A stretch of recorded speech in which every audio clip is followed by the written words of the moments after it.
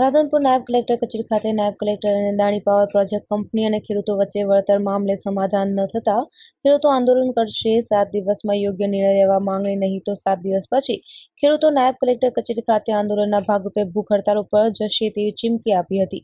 રાધનપુર સાંતરપુર તાલુકાના ખેડૂતોએ નાયબ કલેક્ટરને આપેલ આવેદનપત્ર સાથે સાથે અલ્ટિમેટમ સાત દિવસમાં ખેડૂતોને વળતર નહીં ચૂકવવા આવે તો નાયબ કલેક્ટર કચેરી ખાતે આંદોલન કરવાની ચીમકી આપી હતી.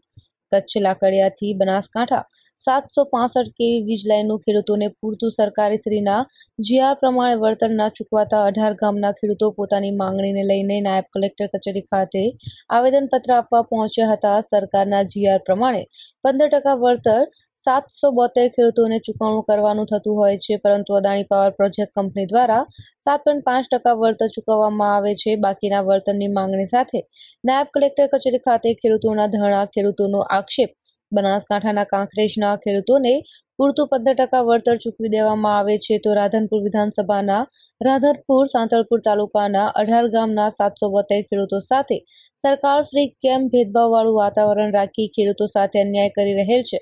પાટણ જિલ્લાના રાધનપુર ખાતે નાયબ કલેક્ટર કચેરી ખાતે ખેડૂતોને ન્યાય આપવા માટે માંગણી સાથે સાત દિવસ બાદ ખેડૂતો આંદોલન કરવાની ચીમકી આપી હતી. ગઈ એકવીસ તારીખે એકવીસ છના પ્રાંત સાહેબ જોડે અને અદાણીના ઓફિસરો જોડે એવી મિટિંગ થયેલી હતી ખેડૂતો સાથે અને એવી રજૂઆત થયેલી હતી કે અમને સાડા સાત ટકા ચૂકવવા. ત્યારે એ લોકોએ અમને એવું આશ્વાસન આપ્યું હતું કે તમારું આવતા સોમવારે, એટલે સત્યાવીસ તારીખ સુધી અમે આનો જે પણ કયા છે એ નિર્ણય તમને કરીને આપી દઈશું. પણ સત્યાવીસ તારીખે પણ અમને સંતોષપૂર્વક નિર્ણય ખેડૂતોને કોઈ આપેલો નથી. નથી કોઈ વળતર બાબતની વાત થયેલી નથી? આ સાડા સાત ટકા બાબતની જે અમારી લડત છે ખેડૂતોની, સાંતલપુર રાધનપુર તાલુકાના અઢાર ગામના સાતસો બોતેર ખેડૂતોની. એ બાબતમાં હજી જે જગ્યાએ અમારી પરિસ્થિતિ જે હતી, સ્થિતિ એની સ્થિતિ આવીને આજે ઊભો રહેલું છે. તો આજે અમે ફરીથી આવેદનપત્ર આપ્યું છે પ્રાંત સાહેબશ્રીને. અને પાંચ નોટિસ અમે આજે બધા ખેડૂત મિત્રો, જે અઢારે ગામના ખેડૂત મિત્રો જેમના દ્વારા દ્વારા પાંચ નોટિસો અમે ઇસ્યુ કરાવી છે.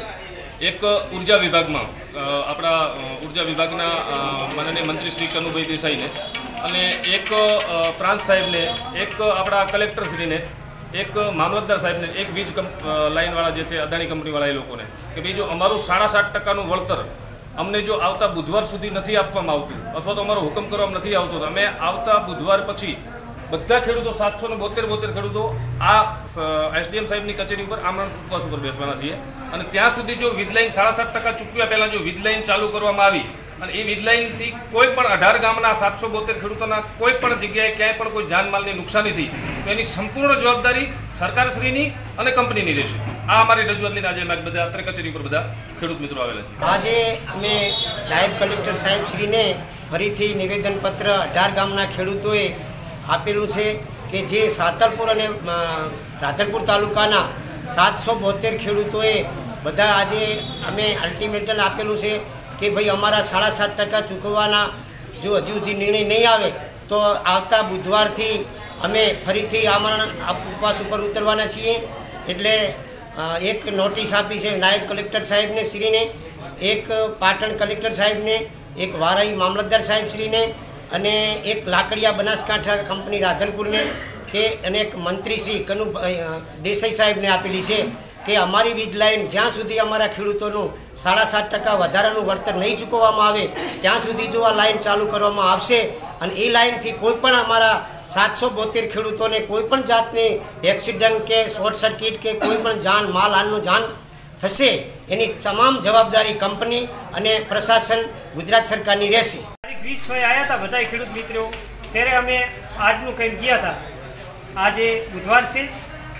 અને આજનું કંઈક ગયા હતા અને આજે અમે આ રજૂઆત કરીને જઈ કે અમે સાત દિવસનું તમને એલ્ટિમેટમ સાત દિવસની જાહેરાત કરી જઈ જાઓ. સાતમે દિવસે અમારો નિર્ણય નહીં આવે તો આઠમા દિવસે, ગુરુવારના દિવસે અમે બધા આવીને ઉપવાસ માટે બેસી જશું. જો અમારી વાત સાંભળવામાં નહીં આવે તો. તમને સાત દિવસનો અમે આવી સાત દિવસ તમારા અને આઠમો દિવસ અમારો ખેડૂતનો. Bureau report Anil Ramanuj Radhanpur.